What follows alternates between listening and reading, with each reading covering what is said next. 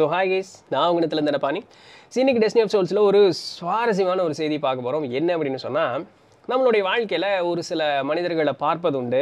அந்த ஒரு மனிதர்களை வந்து நம்மளால் மறக்கவும் முடியாது அவர்களை விட்டு பிரிஞ்சு போகவும் முடியாது. என்ன ஆனாலும் சரி அந்த மனிதர்கள் அந்த ஒரு ஒரு ஆணோ பொண்ணோ அவங்க வந்து நம்மளுடைய வாழ்க்கையின ஒரு இன்றியமையாத ஒரு பகுதியாக வந்து மாறிடுவாங்க.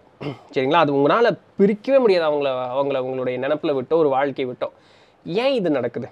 இந்த இந்த ஒரு சந்தேகம் எங்களுக்கு உங்களுக்கு என்னைக்காவது இருந்திருக்கா? இப்போது ஒரு விஷயத்தை நம்ம வந்து படிச்சுக்கணும் அப்படின்னு விருப்பப்படுறோம். படிச்சுக்க முடியாமல் போச்சு. அடுத்து இந்த பிறப்பில் நம்ம முடிஞ்சு போச்சு. அடுத்த பிறப்பு எடுக்கிறோம். அப்பவும் படிச்சுக்க முடியல. அடுத்த பிறப்பு எடுக்கிறோம். அப்பவும் படிச்சுக்க முடியல. அந்த மூணாவது பிறப்பு எடுக்கிறோம் பார்த்தீங்களா இந்த உலகமே நம்மளை ஒரு செகண்ட் திரும்பி பார்த்துரும். அந்த அளவுக்கு வந்து அந்த ஒரு விஷயத்து மேலே நம்ம பயங்கரமான ஒரு நிபுணத்துவம் அப்படிங்கிறத பெற்றுருவோம். ஸோ நம்மளுடைய எண்ணத்திற்கும் நம்மளுடைய ஆன்ம பலத்திற்கும் அந்த அளவுக்கு சக்தி அப்படிங்கிறது உண்டு. ஸோ அதே தான் இது நீங்கள் உலக அளவு ஃபேமஸ் ஆகணும்னு அவசியம் இல்லை. இதே விஷயம் ஒரு ரெண்டு பேர்த்துக்கு நடுவில் இருக்கக்கூடிய ஒரு பாண்டாக கூட கிரியேட் ஆகும். ஸோ அப்படிப்பட்ட ஒரு பாண்டு தான் பார்த்தோம்னா இன்றைக்கி பார்க்கக்கூடிய ஒரு காதல் கதை ரைட் ஸோ ஒரு கிளைண்ட் வராங்க டாக்டர் மைக்கேல் நியூட்டன் ஸோ அந்த புக்கினுடைய ஆத்தர் ஸோ அவர்கிட்ட மௌரின் அப்படின்னு சொல்லக்கூடிய ஒரு பெண்மணி ஒரு ஏறத்தாழ ஒரு ஐம்பது வயசு மதிக்கத்தக்க ஒரு பெண்மணி. டாக்டரை வந்து டக்குன்னு மீட் பண்ணுறாங்க மீட் பண்ணிவிட்டு டாக்டர் எனக்கு நாளை எனக்கு அப்பாயின்மெண்ட் வேணும். நான் வந்து டேல் அப்படின்னு சொல்லக்கூடிய ஒரு ஒருத்தரை வந்து நான் மீட் பண்ண போகிறேன் இவ்வளோ நாள் நாங்கள் பார்த்தோம்னா ஆன்லைனில் வந்து ஒரு சேட் குரூப்பில் தான் வந்து நாங்கள் பேசிகிட்டு இருந்திருக்கோம். இந்த சேட் குரூப் என்ன அப்படின்னு சொன்னால் இந்த பாஸ்ட் லைஃப் எல்லாம் பற்றி டிஸ்கஸ் பண்ணுறதுக்கு உண்டான சேட் குரூப்பு ஸோ அந்த சேட் குரூப்பில் நிறைய பேர் உண்டு. ஆனால் பர்டிகுலராக அந்த டேல் மட்டும் என்னை ரொம்ப அட்ராக்ட் பண்ணார். நான் மனசில் நினச்சது எல்லாத்தையுமே அவர் சொல்கிறார் அவர் மனசில் நினச்சி நான் சொல்ல முடிஞ்சுது. ஸோ நாங்கள் வந்து ஒரு ப்ரைவேட் சேட் குரூப்பில் நாங்கள் தனியாக பேச ஆரம்பித்தோம் நாங்களை பற்றி ரொ- ரொம்ப நல்லா தெரிஞ்சுக்கிட்டோம். அது ஒரு அந்நியமனியமான ஒரு பாண்ட் அப்படிங்கிறது ஒன்று கிரியேட் ஆச்சு. ஸோ ஃபஸ்ட்டு ஃபஸ்ட்டு இவ்வளோ நாள் நாங்கள் ஆன்லைன் ஃப்ரெண்ட்ஸ் தான். ஃபஸ்ட் ஃபஸ்ட்டு நீ நேரில் பார்க்கறதுக்காக நாளைக்கு டேல் வராரு. ஸோ பார்த்துட்டு நான் அடுத்த நாள் உங்களை வந்து பார்க்குறக்கு ஒரு அப்பாயின்மெண்ட் வேணும் அப்படிங்கிறாங்க. டாக்டருக்கு ஒரு ஆர்வம். டாக்டர் என்ன சொல்கிறாருன்னா நானே பயங்கர ஒரு ரொமான்டிக்கான ஒரு ஆளுங்க. எங்கிட்ட வந்து இந்த ஒரு காதல் கதைன்னு சொல்லி ரெண்டு பேருமே வந்து பாஸ்ட் லைஃப் ரெக்ரெஷன் வேணும்னு கேட்கும்பொழுது எனக்கு இப்போ ஒரு விறுவிறுன்னு ஆகிப்போச்சு இமீடியட்டாக அப்பாயின்மெண்ட் கொடுத்துட்டேன். அவங்க வந்து மீட் பண்ணுறாங்க மீட் பண்ணிவிட்டு அடுத்த நாள் என்னை வந்து பார்க்க வர்றாங்க. ஸோ அப்படின்னு சொல்கிறார் so now the story starts சரிங்களா? இப்போ இந்த ரெண்டு பேருமே பார்த்தோம்னா சில மாச இடைவெளி கேப்பில் ரெண்டு பேருமே பிறந்திருக்காங்க அப்படின்னா என்ன பிறப்பு அப்படிங்கிறது ஒ- ஒத்த வயசு தான் இவங்க ரெண்டு பேர்த்துக்கும் ஃபியூ மந்த்ஸ் கேப் தான் டிஃப்ரென்ஸு இப்போது இந்த டேல் அப்படிங்கிறவர் வந்து ஃபஸ்ட் ஃபஸ்ட்டு இந்த மௌரின் அப்படிங்கிறவங்க பார்க்குறாங்க. பார்த்த உடனேயே அவரை பார்த்தோன்னே எனக்கு அப்படி கண்கள் அப்படி பெருசாயிடுச்சு. என்னுடைய மனசெல்லாம் படப்படான்னு ஆயிடுச்சு. என்னை அறியாத ஒரு ஒரு ஒரு பொங்கல் அது வந்து அது வந்துடுச்சு. நான் வாயை சிரிச்சுக்கிட்டே இருக்கேன். என்னால் வாய் மூடவே முடியல. அது அது ஒரு விளக்கத்திற்கு அப்பாற்பட்ட ஒரு பாண்ட் அப்படிங்கிறது வந்து ஒன்று கிரியேட் ஆச்சு. ஸோ தன்னிலை மறந்து எனக்கு ஒரு நிலை அப்படிங்கிறது வந்து அவரை பார்த்தோன்னே இருந்தது அப்படிங்கிறாங்க.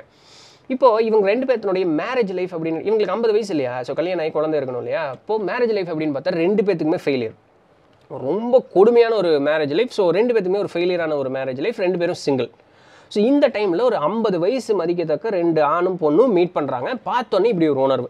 இப்போ டாக்டருக்கு பயங்கர ஒரு ஆர்வம். ஸோ ஃபஸ்ட்டு அந்த மோரின் அப்படிங்கிறவங்கள தான் வந்து பாஸ்ட் லைஃப் ரெக்ரெஷன் உட்கார வைக்கிறாரு. உட்கார வைக்கிறதுக்கு முன்னதாக பார்த்தோம் அப்படின்னு சொன்னால் அவங்ககிட்ட ஒரு சில விஷயங்கள் கேட்டார் மோரின் உங்களுக்கு என்ன பிடிக்கும்? என்னெல்லாம் பயம்? அப்படிங்கிற ஒரு விஷயத்தை கேட்குறாரு அந்த மோரின் என்ன சொல்கிறாங்கன்னா ஆயிரத்தி தொள்ளாயிரத்தி இருபதுகளினுடைய பாடல்களை கேட்டால் நான் அப்படியே என்னை மறந்து நின்றுவேன். அதில் பெரிய ஒரு கவுன் மாதிரி போட்டு இந்த சுற்றி சுற்றி டான்ஸ் ஆடுவாங்களா? அதெல்லாம் எனக்கு ரொம்ப பிடிக்கும். அப்புறம் இந்த சான் ஃப்ரான்சிஸ்கோனுடைய அந்த தென் பகுதியில் இருக்கக்கூடிய அந்த ஹைவேஸில் வண்டி ஓட்டிட்டு போகிறோம் அப்படின்னு சொன்னால் எனக்கு ஒரு மாதிரி இனம் புரியாத ஒரு பயம் அப்படிங்கிறது எனக்கு இருக்கும். இதெல்லாம் ஏன்னு எனக்கு தெரியல அப்படிங்கிறாங்க. அவ்வளோதானே உட்கார கண்டுபிடிச்சிருவான் அப்படின்ட்டு பாஸ்ட் லைஃப் ரெகுலேஷனில் உட்கார வைக்கிறாங்க. நான் screen open case opens right so doctor என்ன கேட்குறாருன்னா முந்தைய பிறவி என்னுடைய அந்த நினப்பு இப்போ உங்களுக்கு வருது. அங்கேயும் நீங்கள் வந்து பொம்பளையாக தான் இருக்கீங்களா? அப்படின்னு கேட்கும்பொழுது பொம்பளை இல்லை நான் பொண்ணு அப்படின்னா அப்படியா? பேர் என்ன? அப்படின்னா என் பேர் சமந்தா. ஷார்ட்டாக வந்து என்னை சாம்னு கூப்பிடுவாங்க. ஸோ என்ன பண்ணிட்டு இருக்கீங்க? அப்படின்னு கேட்கும்போது நான் பெட்ரூமில் என்னுடைய ட்ரெஸ்ஸிங் டேபிள் முன்னாடி நான் இருக்கேன். அதனால எதற்காக? அப்படின்னு கேட்டால் இது பார்ட்டினோ பார்ட்டியா என்ன பார்ட்டி யாருக்காக? எங்கே இருக்கீங்க? அப்படின்னோடனே எனக்கு வந்து பதினெட்டு வயசாயிருக்கு. ஸோ இந்த பார்ட்டி முழுக்க முழுக்க ஒரே சந்தோஷம். பாட்டி வந்து எனக்காக தான் எனக்கு பதினெட்டு வயசு ஆயிடுச்சு ஸோ இன்றைக்கி வந்து என்னுடைய பர்த்டே பார்ட்டி அப்படின்னோடனே ஓ ஹாப்பி பர்த்டே சாம் இவர் ஹாப்பி பர்த்டே சாம் ஸோ என்ன டேட் இன்றைக்கி அப்படின்னு சொல்லுங்களேன் அப்படின்னா கொஞ்சம் அப்படியே யோசிச்சு கொஞ்சம் அப்படியே தயங்கி அவங்க சொல்கிறாங்க இவ்வளோ துல்லியமாக சொல்கிறாங்க பாருங்கள் ஜூலை மாதம் இருபத்தி ஆறாம் தேதி ஆயிரத்தி தொள்ளாயிரத்தி இருபத்தி மூணு. புரியுதா? இவங்களுக்கு ஏன் அந்த இருபதுகளினுடைய பாடலும் ட்ரெஸ்ஸும் பிடிக்குதுன்னு?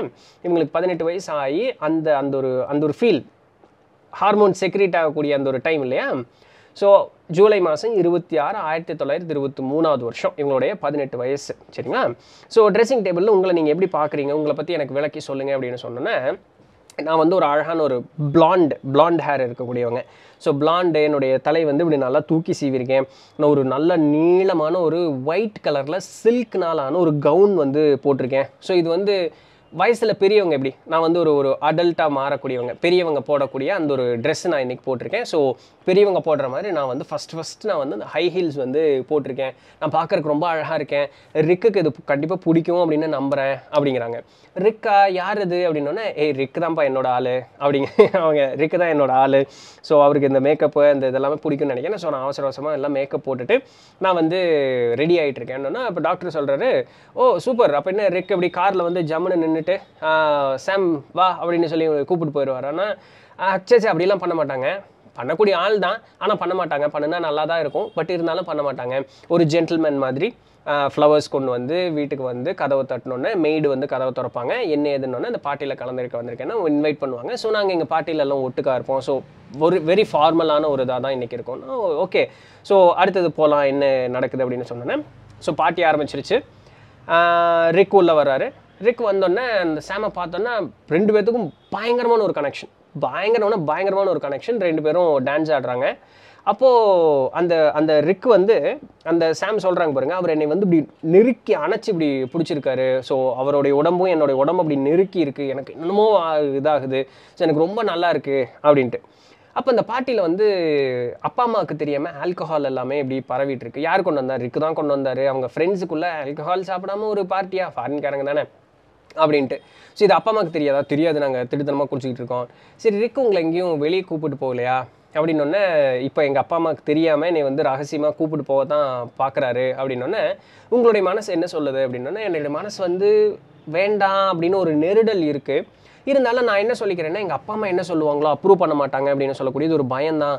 இருந்தாலும் எனக்கு அதற்கு மீறி என்னமோ ஒன்று மனசு கொடுத்துட்டே இருக்குது இருந்தாலும் ரிக் மேலே எனக்கு அந்த ஒரு காதல் உணர்வு அதிகமான காரணத்தினால அவர் என்னை வெளியே கூப்பிட்டோன்னா நான் சரி வர்றேன் அப்படின்னு வந்து சொல்லிட்டேன்.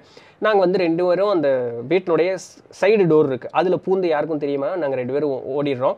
ரிக்கனுடைய காருக்குள்ளே உட்காந்துட்டு நாங்கள் என்ன பண்ணுறோம் அப்படின்னு சொன்னால் பயங்கரமான இன்டிமேட்டான ஒரு கிஸ்ஸு செம்மையான ஒரு கிஸ்ஸு சரிங்களா? ஸோ அதில் வந்து தன்னிலை மறந்து போயிட்டேன் அப்படிங்கிறாங்க. எவ்வளோ எக்ஸ்பிரஸாக சொல்கிறாங்க பாருங்க. பயங்கரமான ஒரு கிஸ்ஸு அப்புறம் அது பண்ணோன்னே கிரிக் வந்து கார் எடுத்துகிட்டு போகிறாரு நல்லா நோட் பண்ணும். இப்போல்லாம் ஒரு சில விஷயங்கள் நோட் பண்ணோம். அப்போ காரில் போகும்பொழுது எப்படி போகிறீங்க என்னன்னா ஒரு கையை வந்து என்னை இப்படி சுற்றி இப்படி பிடிச்சிட்டு ஒரு காரில் இப்படி வண்டி ஓட்டிகிட்டே போயிட்டுருக்காங்க எங்கே போகிறீங்க அப்படின்னு கேட்குறாரு தென்பகுதி அதாவது சான் ஃப்ரான்சிஸ்கோவில் பசிஃபிக் கோஸ்ட் ரோடு அப்படின்னு சொல்லக்கூடிய இடத்துல இந்த தென்பகுதி சவுத் சைடு நோக்கி நாங்கள் போகிறோம் ரிக் வந்து கொஞ்சம் அதிகமாக குடிச்சிருக்காரு. அவர் வந்து கொஞ்சம் தன்னிலை மறந்து காரை ரொம்ப வேகமாக ஓட்டுறாரு. நான் மெதுவாக ஓட்டுங்க ரிக் அப்படின்னு சொல்கிறேன் அவர் கேட்குற பாட்டை காணும். பிகாஸ் அவர் வந்து இந்த உலகத்திலே நான் உன்ன மாதிரி ஒரு அழகான ஒரு பொண்ணு பார்த்ததே இல்லை அப்படின்னு சொல்லக்கூடிய அவர் அது ரோடை ஃபோக்கஸ் பண்ணல. முழுக்க முழுக்க அவருடைய கவனம் என் மேலே தான் இருக்குது கார் எவ்வளோ ஃபோர்ஸாக போகுது ஃபாஸ்ட்டாக போகுது அவர் நினைக்கவே இல்லை.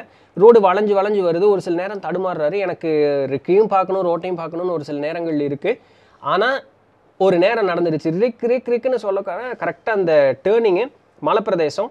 டேர்னிங் போகும்பொழுது அவர் டேர்னிங் திருப்பில் அடுத்த என்ன இப்போ என்ன நடக்குது அப்படின்னு சொன்னால் நாங்கள் அப்படி காற்றுல மிதந்துக்கிட்டு இருக்கோம். ஸோ அந்த டிவைடரை உடச்சிட்டு கார் இப்படி மேலே போயிடுச்சு. நேராக போனால் கீழே கடல்.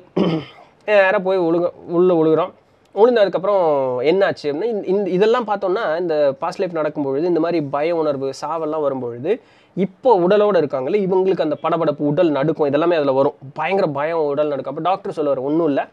இந்த நிகழ்வு எது நடந்தாலுமே நான் உங்கள் கூட தான் இருக்கேன். உங்கள் நீங்கள் பாதுகாப்பாக இருப்பீங்க அப்படின்னு சொல்லக்கூடிய அந்த ஒரு உத்தரவாதம் நான் கொடுக்குறேன். உங்களுக்கு அது நம்பிக்கை இருக்குல்லன்னொன்னே நம்பிக்கை இருக்குன்னு சொன்னதுக்கப்புறம் தான் இது டாக்டர் உள்ளே கொண்டு போவார். சும்மா ரேண்டமாக அப்படி போயிட மாட்டாங்க இந்த ப- இந்த மாதிரி விஷயத்துக்கு எல்லாமே. அப்போது நீங்கள் என்ன பார்க்குறீங்க அப்படின்னு சொன்னோம்னா நான் வந்து அந்த அந்த கார் விட்டு மேலே வந்துட்டேன். கடலுக்கு மேலே இப்போ நான் இருக்கேன். ஸோ இறந்துட்டாங்க. கடலுக்கு மேலே நான் இருக்கேன். நான் ரிக்கை தேடிட்டு இருக்கேன். எனக்கு வந்து ரிக்கு உடனே வேணும் அப்படின்னொன்னே என்ன நடக்குதுன்னா என்னை மேலே யாரோ இப்படி இழுக்கிற மாதிரி இருக்குது அப்படின்னொன்னே நீங்கள் அதுக்கு போகிறீங்களா இல்லை நான் போகலை. நான் வந்து என்னை வலுக்கட்டாயப்படுத்திட்டு அந்த இழுக்கிறதுக்கு மறுத்துட்டு நான் இங்கே நின்றுட்டுருக்கேன் அப்படின்னு.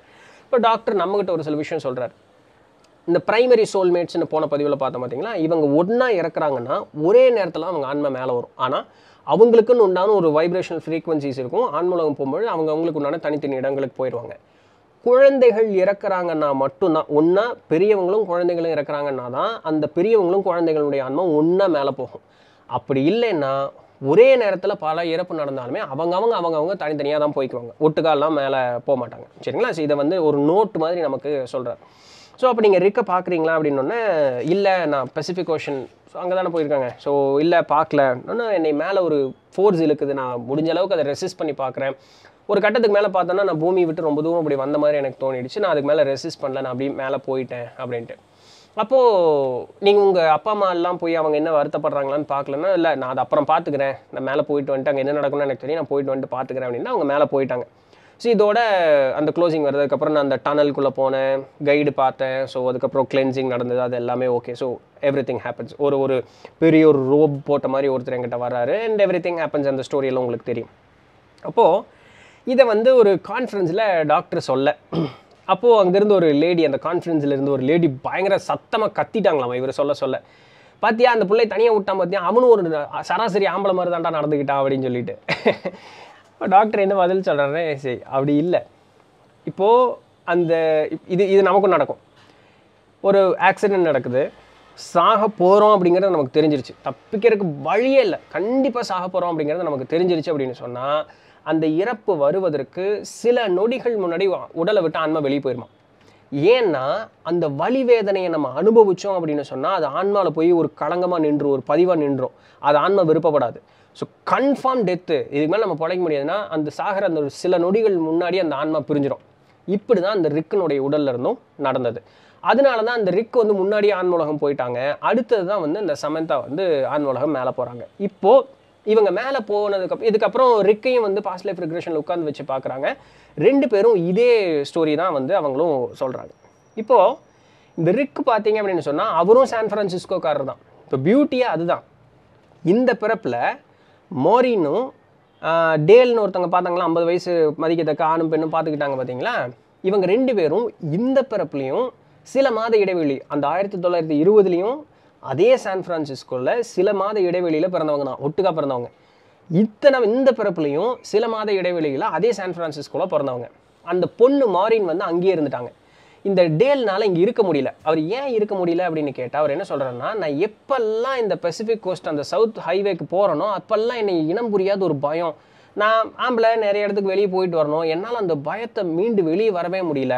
அதனால நான் வந்து இந்த ஊர் விட்டே நான் காலி பண்ணிட்டு வேறு ஊருக்கு போயிட்டேன் அப்படிங்கிறது தான் அவர் சொன்ன ஒரு பதில். அப்போ இவங்க ரெண்டு பேரும் யார் அப்படின்னு பார்க்கும்பொழுது இவங்க ஒரு லெவல் ஒன் சோல் சரிங்களா? இந்த லெவல் ஒன்னு சோல் இவங்க வந்து இவங்களுடைய சோல் குரூப்பில் ஒரு பன்னெண்டு பேர் பக்கம் அந்த சோல் குரூப்பில் இருந்தவங்களாமா. எப்படின்னா ரெக்லெஸ்ன்னு சொல்லுவாங்கள்ல ஒரு அக்கறையெல்லாம் கிடையாது. டாட் பூட் தஞ்சாவூர் ஆ வாடா அட்டி டாட் பூட் உதிரா அப்படிங்கிற மாதிரி ஒரு ஆளுங்க. ஒரு பொறுமையாக எல்லாம் கிடையாது. இவங்களுடைய கைடு வந்து என்னென்னா கொஞ்சம் பொறுமையாக இருக்கக்கூடிய அடுத்த லெவல் ஒன் சோல்ஸ் இருக்கக்கூடிய அடுத்த குரூப்ஸ் எல்லாம் கொண்டு போய் காக்கும்போது இவங்கெல்லாம் சொல்லுவாங்களா என்னங்க ஒரு போர் அடிச்சுக்கிட்டே இருக்கார் அவன் என்ன ரொம்ப பொறுமையாக எல்லா வேலையும் செஞ்சுட்டு இருக்கான். நமக்கு இந்த பொறுமையெல்லாம் ஆகாதுங்க. ஜா ஜாலியாக இருக்கணுங்க அப்படின்ட்டு. அப்படி ஜாலியாக இருந்ததா இந்த பிறப்பில் செத்து போயிட்டாங்க. இந்த ரிக்கனுடைய ஆன்மா முன்னாடியே மேலே போயிடுச்சுல இவங்க குரு மேலே கூப்பிட்டு போய் இவங்களுக்குன்னு தனியாக ஒரு செஷனே இருந்ததான் நீ இப்படி வந்து ஒரு ஒரு ஆர்ப்பாட்டம் பண்ணக்கூடிய ஒரு ஆளாக இருக்கக்கூடாது நல்ல ஒரு ஆளாக இருக்கணும் அப்படின்னு சொல்லி இவங்களுக்கு வந்து நல்ல ஒரு படிப்பனையை கொடுத்து அதற்கப்புறம் தனியாக அந்த சமந்தாக்கும் ஒரு படிப்பனை கொடுக்கும்பொழுது இவங்களுடைய அந்த ஒரு விறுவிறுன்னு இருக்கக்கூடிய அந்த நேச்சரை இவங்களை நான் அவங்களே மாற்றிக்கிட்டு இந்த பிறப்பில் இவங்க வந்து பிறக்கிறாங்க. இப்போ இதில் என்ன பியூட்டி அப்படின்னு சொன்னால் இந்த ரிக்கு வந்து இந்த பொண்ணு பதினெட்டு வயசில் சாகிறதுக்கு வாழ்க்கையை வாழ்கிறக்கூடிய நேரத்தில் வாழ முடியாமல் இப்படி நடக்கிறதுக்கு இவர் காரணமாயிட்டாருன்னு இவருடைய மனசில் ஒரு ஒரு ஒரு ஆதங்கம் ஒரு பதிவு வந்து அழுத்தமாக பதிஞ்சு போச்சு. அந்த ஒரு தன்மை வந்து அடுத்த தடவை இவளுக்கு ஏற்படுத்திடக்கூடாது. ஆனால் இவ கூட நான் ஒட்டுக்காக இருக்கணும் அப்படிங்கிற ஒரு எண்ணமும் இருக்குது அதற்காக தான் பார்த்தீங்க அப்படின்னு சொன்னால் ஒரு பக்குவம் அடைஞ்ச ஒரு வயசு வரைக்கும் இவங்க ரெண்டு பேரும் பார்க்காமே இருக்கணும் அப்படின்னு தான் அந்த யோசிச்சுட்டு அந்த பிறப்பு எடுத்திருந்திருக்காங்க. அந்த ஆயிரத்தி தொள்ளாயிரத்தி இருபத்தி மூணில் ரெண்டு பேரும் இளம் வயசு. இன்னும் வாழ்க்கையை வந்து சரியாக முடிவு பண்ணக்கூடியதுக்கு உண்டான அளவுக்கு திறமை அப்படிங்கிறது கிடையாது அவர்களுக்கு. ஒரு இளமையினுடைய ஒரு வேகம். போனாங்க செத்து போயிட்டாங்க. அப்போ அந்த தவறை நம்ம திருப்பவும் பண்ணிடக்கூடாது அப்படிங்கிறதுக்காக இந்த பிறப்பில் பொறுப்பாக வாழ்க்கையை வாழ்கிறாங்க வாழ்க்கையில் நிறைய கஷ்ட நஷ்டங்களை வந்து எதிர்கொள்கிறாங்க அப்போ அன்பு பாசம் அந்த ஒரு விஷயம் பிரிவுனா எப்படி இருக்குங்கிற அந்த வழி வேதனையை உணர்றாங்க. அப்போ அது கிடச்சிதுன்னா அதை நம்ம விடக்கூடாது அப்படிங்கிற அந்த ஒரு நினப்பு அவங்களுடைய மனசில் ஆழமாக பதியுது. கரெக்டாக இவங்களை ஒரு ஒரு ஐம்பது வயசு கரெக்டாக பார்க்கும் பொழுது இவங்களை வந்து ஒன்றா பார்க்கறதுக்கு உண்டான ஒரு வாய்ப்பை இவங்களே ஏற்படுத்திக்கிறாங்க. சரிங்களா? அப்படி தான் இவங்க ரெண்டு பேரும் மீட் பண்ணுறாங்க அந்த ஐம்பது வயசில். இனிமேல் நான் என்னானாலும் இவங்களை வந்து பிரியவே மாட்டேன் அப்படின்னு சொல்லக்கூடிய ஒரு தன்மையில் இவர்கள் இருவரும் ஒன்றிணைகிறாங்க இப்படி தான் இந்த காதல் கதை அந்த இடத்துல முடியுது. சரிங்களா? அதுக்கப்புறம் அவங்க ரெண்டு பேரும் ஒன்றா இருந்தாங்களாம். அப்புறம் இந்த அந்த இந்த பய உணர்வுகள்லாம் இருக்குல்ல அதுக்கப்புறம் கொஞ்ச நாள் கழித்து மௌரின் லெட்டர் எழுதுறாங்க. எனக்கு இந்த பய உணர்வுகளோ கனவுகளோ எல்லாம் எதுவும் வர்றதில்ல. I am very normal no அப்படின்னு சொல்லி லெட்டர் எழுதுனாங்களா ஸோ அவனை அவனை நோட் வெரி ஹாப்பி என்டிங் சரிங்களா? இப்படி நம்மளுடைய பிறப்பு மேலே இருந்துட்டு கீழே வர்றதுக்கு முன்னதாகவே நம்மளுடைய வாழ்க்கை துணை யார் அப்படின்னு நம்ம பார்த்துருவோமா? ஒரு சில நேரங்களில் காட்டி கொடுத்துருவாங்க. ஒரு சில நேரத்தில் ரெண்டு பேருமே பார்ப்பாங்க. ஒரு சில நேரத்தில் ரெண்டு பேருமே இல்லை அப்படின்னு சொன்னால் அந்த ரெண்டு பேர்த்தில் யாருக்கு கொஞ்சம் ஒரு ஒரு மனோநிலை கொஞ்சம் முதிர்ந்த ஒரு மனோநிலை கொஞ்சம் அட்வான்ஸ்டாக அவங்களுடைய தாட் ப்ராசஸ் இருக்குது சொன்னால் புரிஞ்சுக்குவாங்க அப்படிங்கிறதுக்கா அவங்களுக்கு மட்டும் காட்டி கொடுப்பாங்களாம் அப்படி ஒருத்தர் பார்த்தோம் அப்படின்னு சொன்னோம்னா என்னுடைய மனையாளை வந்து நான் பிறப்பு எடுக்கிறேன் அதுக்கப்புறம் தான் அவள் வரப்போகிறா ஸோ முதல் பிறப்பு நான் தான் எடுக்கும்போது என்னுடைய லைஃப்பை நான் வந்து ஒரு சைக்கிள் காட்டிடுவாங்க நம்ம முன்னாடி பார்த்துருக்கோம். ஜேர்னி ஆஃப் சோல்ஸில் பார்த்துருக்கோம். என்டி டாக்ஸில் பாருங்கள் அப்போ அதில் பார்க்கும்பொழுது என்னுடைய ஒய்ஃபை நான் பார்க்குறேன். அப்போது அவளுடைய அந்த இமேஜஸ் வந்து மென்டல் அப்படி நான் பேர்ன் பண்ணிக்கிட்டேன். என்னோட மனசில் அப்படி பதிய வச்சுக்கிட்டேன். அவள் வந்து இந்த ஆரோபிக் கிளாஸில் பயங்கர ஃபிட்டான ஒரு ஆள் ஸ்போர்ட்ஸ்காரி ஆரோபிக்ஸ் இது பண்ணக்கூடியவன். அப்போ அவள் அந்த வேர்வையினுடைய வாசம் என்னுடைய முகத்தில் நான் நுகர்ந்து பார்த்து அதை வந்து நான் அப்படியே மனிதில் பதிய வச்சுக்கிட்டேன். அவள் இந்த உடலினுடைய அமைப்பு அவள் சிரிக்கிறது அவளுடைய நடை உடை பாவனை எல்லாத்தையும் மனசில் பதிய வச்சுக்கிட்டேன். அதற்கப்புறம் நான் பிறப்படுத்துகிறேன் ஞாபகம் இருக்காது. இது எதுவுமே ஞாபகம் இருக்காது. ஆனால் உணர்வு ரீதியாக அது ஞாபகம் இருக்கும். அதுதான் அங்கே முக்கியம். உருவங்கள் மறந்துடும் உணர்வு ரீதியாக ஞாபகம் இருக்கும். இந்த பிறப்பு எடுத்ததன் உடனேயே என்னுடைய மனையால் கரெக்டாக அந்த ஏரோபிக்ஸ் கிளாஸில் பார்த்தேன் அவள் என்னை பார்த்தா பத்திச்சு அந்த நாள்லேருந்து நாங்கள் அவ்வளோதான் ஒன்றா தான் இருக்கோம். கணவன் மனைவியே ஒன்றா தான் வந்து அப்படியே காதலிச்சோம் அப்படியெல்லாம் கல்யாணம் பண்ணிட்டு ஒன்றா இருக்கும். ஸோ அந்த ஒரு கவால் அந்த ஒரு அந்த ஒரு விஷயம். ஸோ இது எல்லாமே ஆண் உலகத்தில் பார்த்துட்டு தான் வரும். அதனால தான் அதனால தானா என்னவோ. இன்றைக்கி நிறைய கணவன் மனைவியர்கள் வந்து இருக்கீங்க அவ்வளோதான் சரிங்களா? அந்த அந்த ஒரு ஒரு ஒரு ஒரு கவால் வந்து நமக்கு வரவே மாட்டேங்குது. சொல்லப்போனால் நம்ம வாழ்க்கையில் முதல் காதல் அப்படின்னு ஒன்று நடந்திருக்கு தெரியுமா? அந்த அந்த தன்னிலை அப்படி மறந்து போய் பேன் இருந்திருப்போம் தெரியுமா? அந்த முதல் காதல் தான் ஆக்சுவலாக உங்களுடைய ப்ரைமரி சோலாக இருக்கும். ஸோ அவங்க தான் நம்முடைய ஆக்சுவல் சோல்மேட்டாக வந்து இருந்திருப்பாங்க. நம்ம அது உதாசீனப்படுத்தியிருப்போம். கால சூழலோ குடும்ப சூழலோ ஏதோ ஒன்று இது நமக்கு மட்டும் இல்லை வெள்ளக்காரனுக்கு இதே நிலமை தான் ஸோ அது உதாசீனப்படுத்திருப்போம் இல்லை எனக்கு அவனை பிடிக்கல. உருவத்தினுடைய அமைப்பு பிடிக்கல அவன் பேசுறது பிடி என்னத்தையோ ஒரு ரீசன் சொல்லி நம்ம வந்து உதாசீனப்படுத்தியிருப்போம். ஆனாலும் அந்த ஒரு அந்த ஒரு கபால் வந்து நம்ம மனசில் இருந்திருக்கும். அந்த கபால் அதுக்கப்புறம் யார் மேலேயும் நமக்கு தோணவே தோணாது. ஸோ இந்த மாதிரி நிறைய பேர் உதாசீனப்படுத்தி தொலைப்பதும் உண்டு அப்படிங்கிறதும் சொல்கிறாங்க அதனால தான் சோல்மேட் வந்து அவங்க கூட சேருவோம் அப்படிங்கிறதுக்கு உண்டான ஒரு உத்தரவாதம் அப்படிங்கிறது கிடையாது. ஸோ அந்த நேரம் வரும்பொழுது பொறுமையாக ஆறாமற யோசித்து நம்ம அந்த ஒரு முடிவு அப்படிங்கிறது எடுக்கணும் அப்படிங்கிறது டாக்டர்னுடைய ஒரு அட்வைஸ் யா ஸோ ஒரு காதல் கதையின் மூலமாக உங்களுக்கு நல்ல ஒரு இன்ஃபர்மேஷன் வந்திருக்கும் அப்படிங்கிறத நான் புரிஞ்சுக்கிட்டேன். நானும் வளவலான்னு பேசாமல் சொல்லிட்டேன்னு நினைக்கிறேன். இதுதான் உண்டான செய்தி. பிடிச்சிருந்திருக்கும் இன்ஃபர்மேட்டிவாக இருந்திருக்கும் அப்படின்னு நம்புறேன். ஒரு எவ்வளோ காம்ப்ளிகேட்டடான ஒரு ஸ்ட்ரக்சரில் பட் எலகெண்ட்டாக இருக்குது நல்லா இருக்குது அழகாக இருக்குது அதெல்லாம் கேட்குறதுக்கு இது பண்ணும்போது. வாழ்க்கையில் உணர்ந்து பார்த்தவங்க யாராவது இருக்கீங்கன்னா கீழே கமெண்ட் பண்ணுங்கள் தெரிஞ்சுக்கலாம். ஏன் ஸோ நாளைக்கு வேறு ஏதாவது ஒரு சுவாரஸ்யமான செய்தியில் சந்திப்போம். அதுவரையும் தொடர்ந்து நினைந்திருங்கள் நான் உங்கள் இடத்துல தண்டபாணி. நன்றி. வணக்கம். வெற்றிவேல் வெற்றிவேல் வெற்றிவேல்